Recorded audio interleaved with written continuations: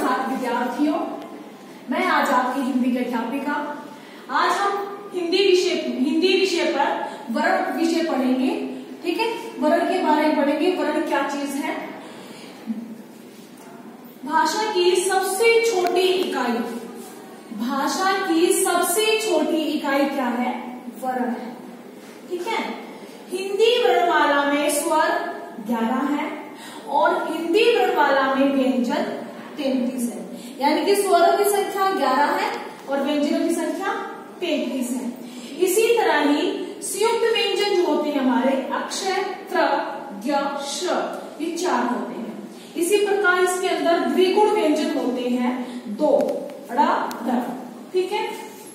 यानी कि वर्ण जो भेद किया गया है, वो दो भागों बांट दिया गया एक स्वर दूसरा व्यंजन, ठीक है? इस तरह से स्वरों को अलग अलग बांटा गया है व्यंजनों को अलग अलग बांटा गया है ये मैंने बताया कि इनकी संख्या में ये ग्यारह है, ये तैतीस है, ठीक है? इसी तरह से आगे हमारा स्वर का पार्टीशन किया गया है, स्वर। स्वर क्या चीज़ है? इसमें आगे इसका पार्टीशन करके बताया गया है हर्षव स्वर। स्वर भी दो प्रकार के होते हैं हर्षव और दीर्घ, ठीक है? हर्षव स्वर कौन से होते हैं? अ, ई, उ, ऐ ओ री। जिनको बोलने में, उच्चारण करने में सबसे कम समय लगे। उच्चारण करते समय टाइम बहुत कम लगे ओके दीर्घ स्वर आ ई उ ए ओ यानी कि स्वर से दुगना समय लगे। ये जो बोले जाते हैं हमारे, दीर्घ स्वर, ये हर्षव स्वर से में जो टाइम लगता है, वो ज़्यादा लगता है।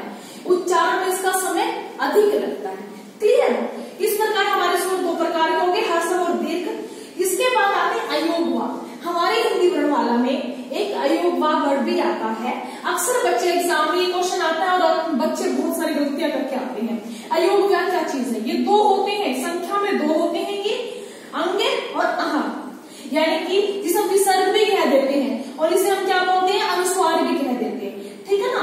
तो इस तरह से यह योग हमारे दो है, अंग और अह उच्चारण में जो है इनकी सहायता स्वरों की सहायता, जितने भी स्वर होते हैं हमारे, उनको, उनकी हेल्प लेके इनको उच्चारण किया जाता है इनका ओके उसके बाद हम पढ़ते हैं व्यंजन के बारे में व्यंजन जैसे कि हमारे मैंने बताया ऊपर संख्या में तैतीस है ये कैसे स्पर्श व्यंजन जो कि हमारे स्पर्श व्यंजन हमारी जो टंग होती है जो हमारी जीवा होती है हम बोलते हैं तो हमारी जीवा कौन कौन से भागों को छूकर निकलती है वो हम अगली कक्षा में पढ़ेंगे सिर्फ़ अभी हम इतना इनका एक्सप्लेनेशन थोड़ी सी थोड़ी सी व्याख्या पढ़ेंगे कि संख्या में कितने हैं स्पर्श व्यंजन का से मा तक कैसे मा तक जितनी हमारे वर्णमाला के वर्ण है पच्चीस है जिसे जैसे कवर चवर टवर पवर इस तरह से ये पूरे हमारे पच्चीस हैं।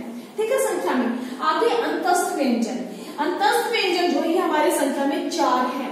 या, र, ल ओके? नेक्स्ट है हमारा इसमें, अगला है हमारा उष्म व्यंजन। इक्की, ये हमारे जो उष्म व्यंजन जो है शलगम जिसकी सला शह हम जिसे कहते हैं? सौन स ह ये संख्या में चार है। ओके?